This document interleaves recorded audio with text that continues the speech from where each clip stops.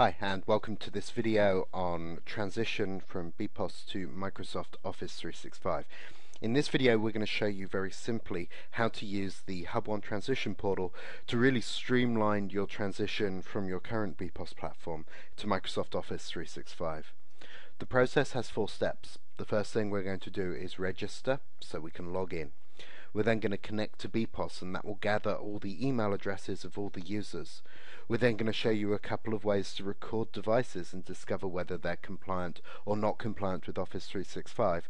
And finally, we're going to show you how to produce a detailed report so you know step by step exactly what to do to move to Office 365. To start with, navigate to the transition portal at http transition.migrateoffice365.com. Then click on Register Company, and this is the first step of the registration process. Type in your company name, and I'm going to use Demo Corporation 4. Type in your phone number. I'll type in a telephone number. Type in your website. Type in your first name, and I'll use mine, my email address and that's important because we're going to send an email to verify you are who you say you are and give you a, a license key that you can use to actually authenticate yourself first time on the portal. Um, next, choose your partner, in this case HubOne, or you can choose any partner that's registered with us. Finally, choose your region. Um, today I'm going to be in Australia. I then click register and what will happen is I'll be given a serial number. Now you can take a note of this serial number, but it will also appear for you in email.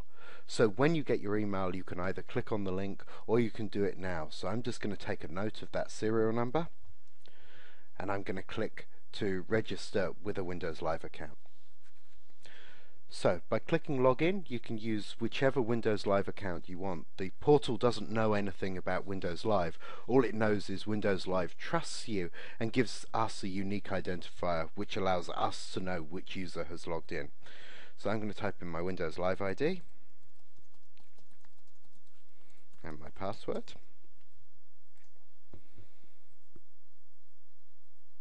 And then I'm going to type in my serial number which I took a note of before.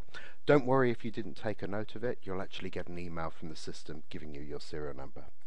When I hit confirm information, you'll see I'm actually signed into the system um, and I'm ready to actually use that and, and go forward and actually work with the transition portal.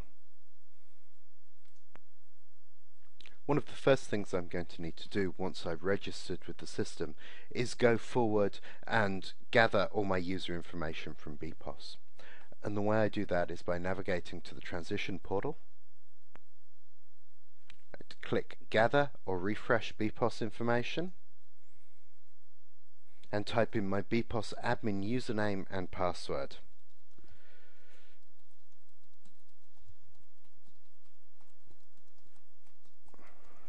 Type it in.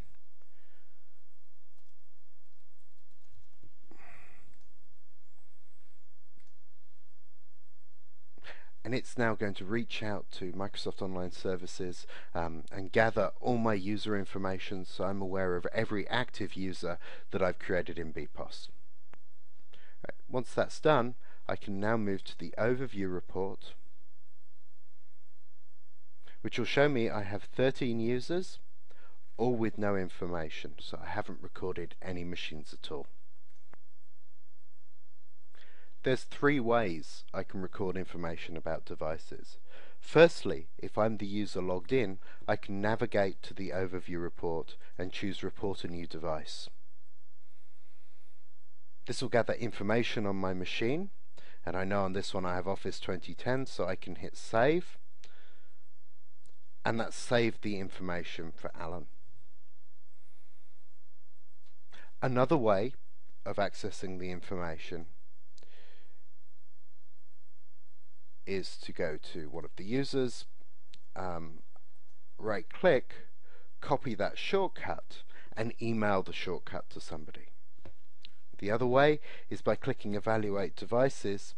As an administrator I can go in and choose which user I want to record this device on. So you could wander around to each of your machines, click Evaluate Device, and put the information in here.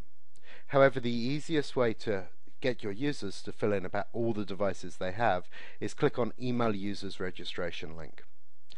That will allow you to pick all the users in your system. I'll just pick two here and send them an email with a unique link for each of them. And as they receive that link in email, they'll be actually able to go forward, click on the link, and record their machine into the transition portal.